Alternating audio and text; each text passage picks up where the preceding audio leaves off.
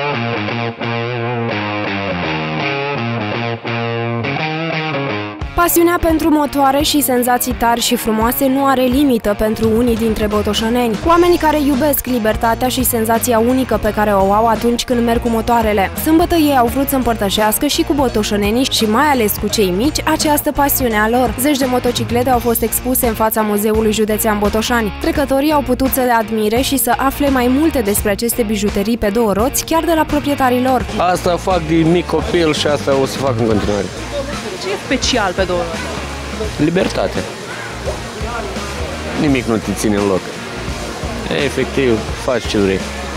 În privința traficului. A, aici e o mare problemă. Nimeni nu ne dă prioritate, nu ne acordă prioritate, nu interesează absolut deloc de noi. Sunt și șofer, dar uh, na, mai mult pe două roți, cu două roți e pasiune. E altfel. Plăcere. Un hobby. Nu e riscant? Este. Da, na, ați un pic de atenție. Inedita acțiune a fost pusă la cale de Gelu Graur, care a dorit în acest mod ca botoșunenii să-i cunoască mai bine pe oamenii care au această pasiune deosebită. Pentru că există prejudecăți, pentru că există oameni care nu ne înțeleg, pentru că vrem să ne prezentăm, pentru că vrem să aducem bucurie copiilor pentru 1 iunie. Să-i lăsăm să facă ce vor ei pe motociclete astăzi. Până acum a fost plin de copilași și nu le venea a crede aproape că puteau să se urce pe, pe motociclete și că puteau să accelereze și să simtă vibrațiile motorului. Da, eu cred că e foarte mișto ce se întâmplă astăzi și vedeți și voi ce, ce masă de oameni și cum ne unesc cele două roți, nu? Care sunt mai multe, de fapt, astăzi. Și care a fost cea mai mare curiozitate? Cea mai mare curiozitate din, uh, din, din, din, uh, din, punct, din punct de vedere a copiilor să audă motocicleta. Unii dintre participanți au venit de la Iași, Suceava sau Cluj pentru a fi alături de motocicliștii botoșăneni la această activitate. Ce înseamnă motorul pentru tine?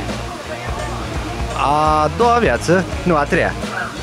Prima Care e a doua? familia, a doua e jobul și a treia e chestia asta.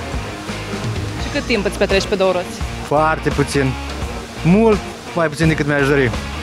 Pentru că celelalte două vieți mi ocupă tot timpul. Printre cei care și-au expus motoarele s-a aflat și profesorul Corneliu Furtună. Ce e mai interesant, mașina de epocă sau motorul vechi? Fiecare, interesant, fiecare ma- utilaj de soiul ăsta e interesant în felul lui. Libertatea motocicletei e ceva, mașina de epocă este cu totul altceva. Sunt lucruri diferite. Ce mașină de epocă aveți? Un RM 461C. IMS-ul nostru clasic. Și circulați. Dar bineînțeles, nu, nu foarte rar, dar țin foarte mult la el și piese de schimb se găsesc eu cel puțin la caroserie. Și motocicleta? Motocicleta asta vara, circul des. Cei mai încântați de acest eveniment de sâmbătă au fost, bineînțeles, cei mici. Ai mai uh, mers vreodată cu motocicleta? Da, m-a dus odată tatăl meu. Și cum e? Bine, bine, nu m-a dus mult, că sunt prea mică. Dar cum ți se pare acest mijloc de transport? Bine, adică îmi place, când o să cresc mare vreau și eu să învăț să merg. Ai mai fost pe motor vreodată? Da. Ai mers pe stradă? Nu, dar poligon. Aha, cu tata, da? Da. Și ce-ți place ție cel mai tare la motor? Că merge repede.